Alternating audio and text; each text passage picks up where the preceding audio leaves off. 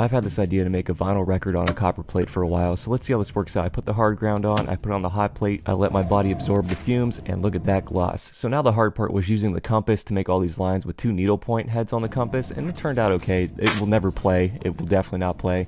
Uh, put this in the acid, let it etch for, I don't know, like 45 minutes, get a nice deep etch, rinse it out, wash it off with the usual chemical thing, and we get these nice deep ridges. Look at that, deep. But what do the ridges look like when inked up? Well, let's find out. So I'm just going to proof this, black ink, value test, use a phone book, do some paper wiping on it, nice and clean plate. I probably over wiped it. When it comes out, it resembles a record, but I think we could do a little better, so I'm going to keep etching it, and we'll see what happens.